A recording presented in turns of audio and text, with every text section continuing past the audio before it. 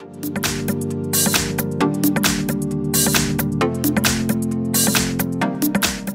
Hi everyone, here we've got Samsung Galaxy M11 and let me show you how to change keyboard language on this device.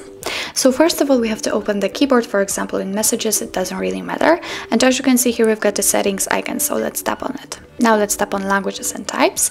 And as you can see here we've got the list of previously added languages, we've got only English right now.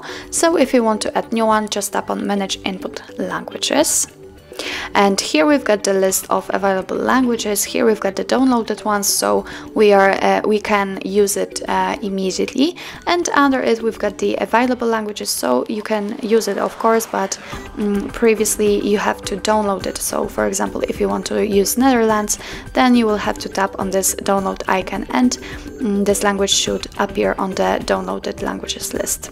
Let me pick something from this list. For example three of them. If you want to uh, choose the language, for example this one, just tap on the switcher on it. Just like that.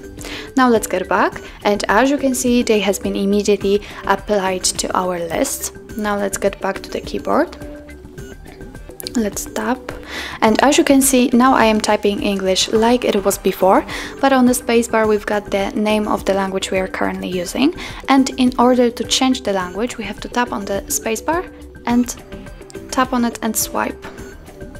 Just like that. And as you can see now I can change the language freely. Let's do it again. Oh this is like a current one so and as you can see now uh, I just changed the language. Let's swipe it again to the English.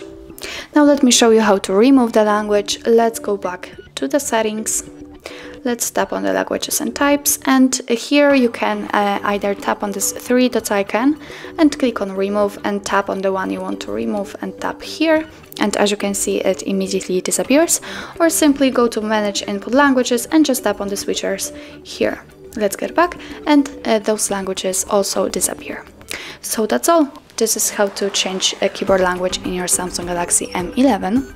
Thank you so much for watching and if you find that this video was helpful please hit the subscribe button and leave the thumbs up.